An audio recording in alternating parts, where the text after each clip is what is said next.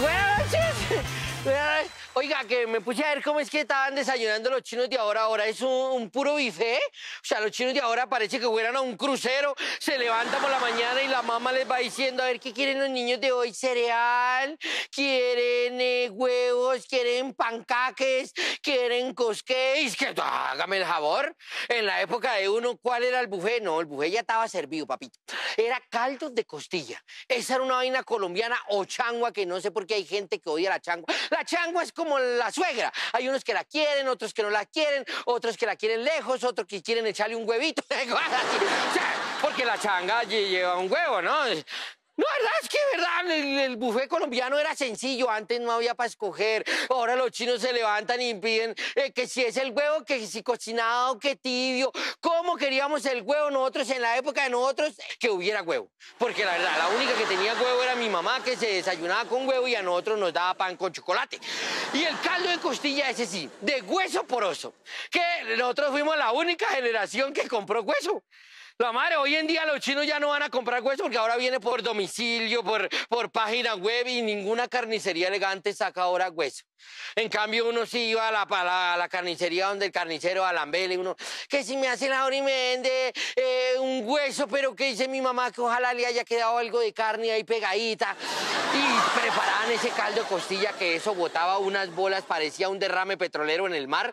Ese hueso botaba unas vainas de aceite, una belleza, eso echaba humo y se mandaba. Había que desayunar rápido, ¿no? Como ahora que los chinos, si no desayunan en la casa, no importa porque les dan once en el colegio y compensan. No, en la época nosotros había que desayunar porque las once en el colegio era solo bienestarina, papá.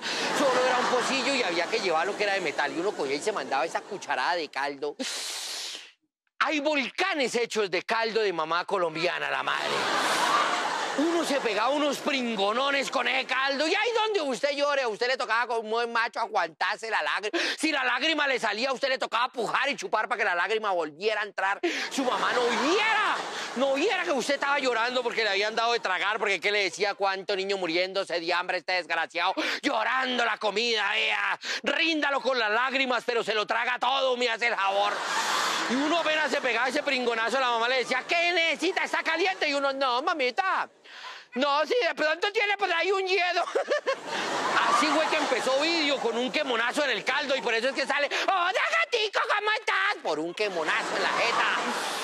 Y uno se iba y la lonchera, ve, ahora las loncheras vienen eh, fitness, armadas técnicamente.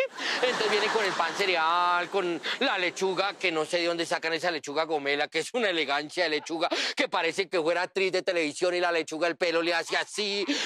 Nosotros nos daban un sándwich con la lechuga de la época de nosotros, que esa berrionda era como forro de cuaderno, esa lechuga, esa lechuga que, que uno masticaba y sabían que le habían dado lechuga porque uno a las 11 de la mañana seguía mascando como si fuera chicle esa lechuga. Habían conejos que odiaban a esa lechuga, man. Ahora todo es, todo es Indes, todo es light. Ah, yo, por ejemplo, ahorita fui a revisar, mano, la lonchera mía, porque a mí me manda lonchera mi señora para las grabaciones. Y la lonchera tenía un sándwich de huevo, pero no tenía huevo, sino un papel blanco que decía que le haga la lonchera a su madre. Yo ya me cansé. Gracias, de verdad.